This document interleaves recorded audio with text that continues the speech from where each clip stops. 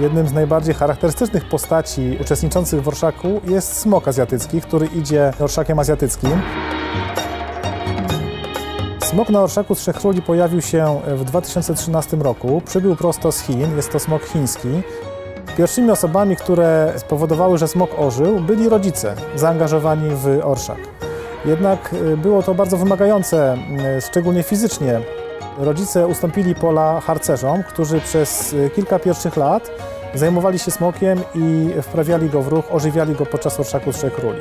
Od czterech lat za obsługę smoka odpowiadają wolontariusze ze szkoły żagle. Nigdy nie mamy kłopotu, żeby zebrać grupę wolontariuszy, którzy będą chcieli uczestniczyć w smoku.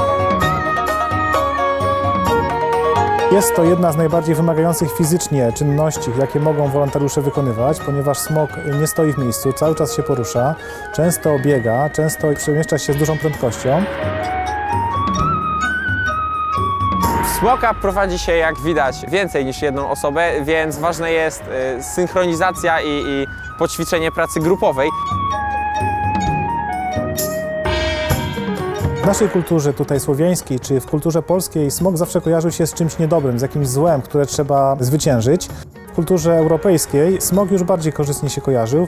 Najbardziej pozytywnym elementem kultury smok jest na Dalekim Wschodzie, szczególnie w Chinach, gdzie jest on traktowany jako coś bardzo dobrego, jako oznaka sukcesu, oznaka szczęścia. Nic dziwnego, że w 2013 roku pojawił się e, w orszaku azjatyckim.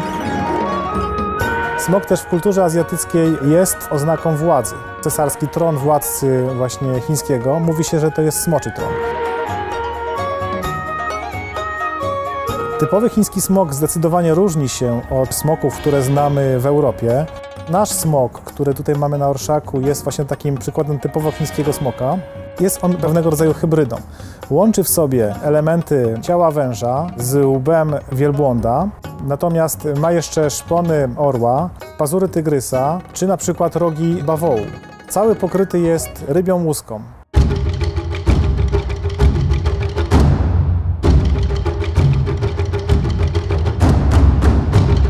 Perła e, znajdująca się w paszczy smoka bądź znajdująca się pod jego głową symbolizuje doskonałość tego smoka.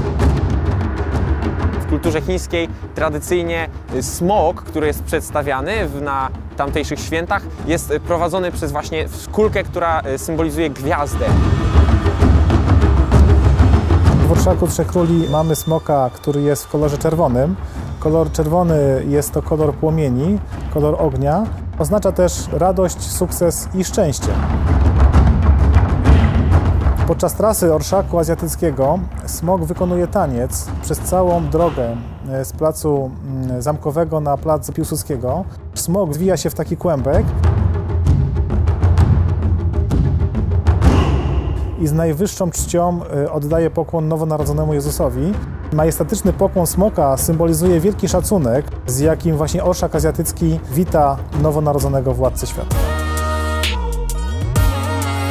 Gdybym miał powiedzieć, co cenię w smoku najbardziej, powiedziałbym, że ludzi. To naprawdę super ekipa, z którą już kolejny rok będziemy operować smokiem i muszę przyznać, że naprawdę się przy tym dobrze bawimy.